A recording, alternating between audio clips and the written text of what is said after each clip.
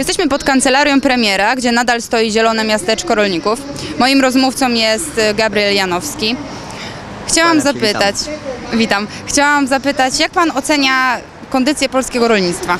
Jest zła, jest zła i dlatego tutaj są rolnicy, by protestować przeciwko temu stanowi rzeczy.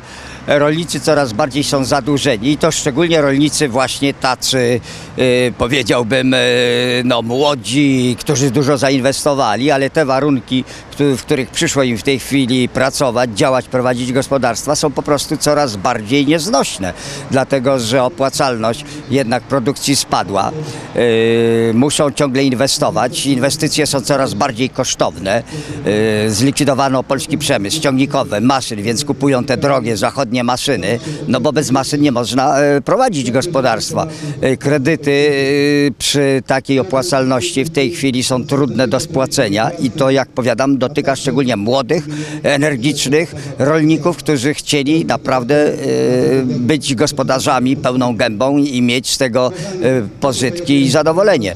To jest jedna sprawa. Druga, niestety bardzo niedobra, to to, że cały przemysł rolno-spożywczy jest w rękach obcego kapitału. Rolnicy miast czerpać pożytki z przetwórstwa i z handlu, to de facto zostali sprowadzeni do roli takich surowcowych. To znaczy e, możesz wyprodukować ten surowiec, ale już nie masz prawa go przetwarzać e, w, na przykład w skali swojego gospodarstwa i sprzedawać, tylko musisz to nieść, przepraszam, e, do e, przemysłu, a ten przemysł, jak mówię, jest pod kontrolą wielkiego kapitału. I tutaj choćby rolnicy protestowali, czy domagają się, domagali się, by mogli prowadzić sprzedaż bezpośrednią swoich przetworzonych produktów. Oczywiście w skali gospodarstwa. To nie są fabryki, to nie są jakieś wielkie firmy. E, I to miast, e, że tak powiem, spotkać się z pozytywnym e, odzewem ze strony rządzących, to nie.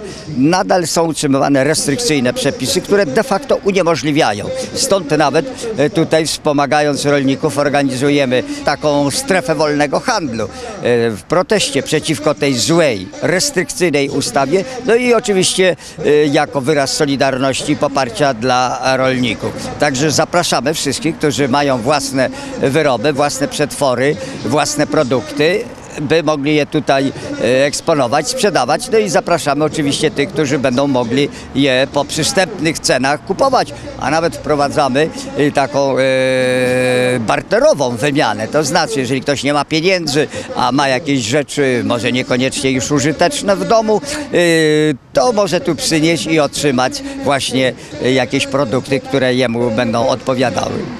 A kto jest odpowiedzialny za taki, za taki trudny stan rzeczy?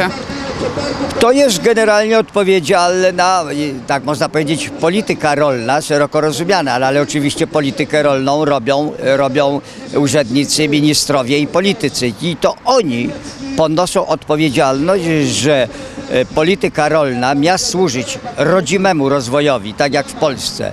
I to zarówno produkcji rolnej, przetwórstwu, de facto została ograniczona do tylko wytwórstwa, wytwórczości takiej, jak mówię, surowcowej z jednej strony, a z drugiej strony warunki gospodarowania, to co mówiłem wcześniej, są coraz bardziej trudne, szczególnie dla młodych rolników.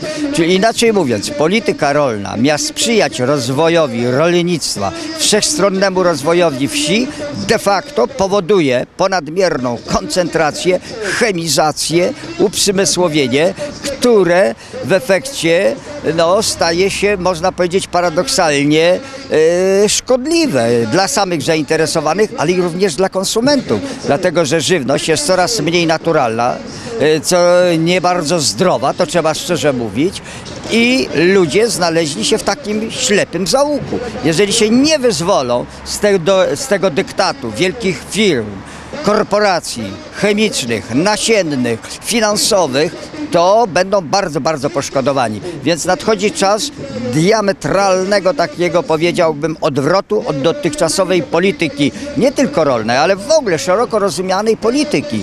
Nasza cywilizacja zachodnia, chrześcijańska, jak ją byśmy nazwali, jest w tej chwili bardzo zagrożona właśnie przez dyktat powiadam, systemu korporacyjnego. Mamy system nie tylko w Polsce, ale szerzej na świecie coraz bardziej pańszczyźniano-korporacyjny. Czyli ludzie są podporządkowani wielkim tym grupom kapitałowym, przemysłowym, chemicznym, farmaceutycznym, które dyktują już warunki rozwoju e, człowieka, ale nie dbając o jego dobro, tylko dbając o swój interes. I chciwość bankowców, e, rozmaitych firm przekracza już powiedziałbym no, rozsądne granice.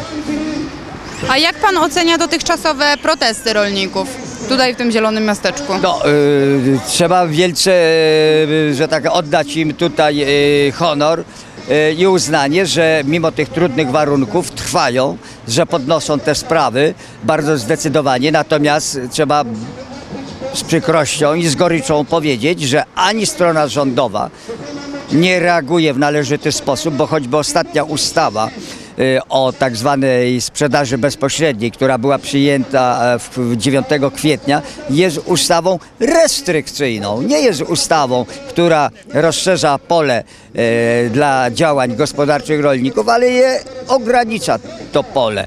E, Z drugiej strony media też przykro powiedzieć, miast, prawda, e, prowadzić debaty na ten temat, pokazywać te problemy, no to w zasadzie sprowadzają swoją rolę do takiego widowiska show e, miast głębiej, wnikliwiej e, wnikać właśnie w te sprawy, które e, nie tylko rolników, ale w ogóle coraz bardziej ludzi niepokoją i, i, i, i wy, wymagają nadzwyczajnych działań. Tego ze strony rządzących, ze strony parlamentu nie ma, nie ma.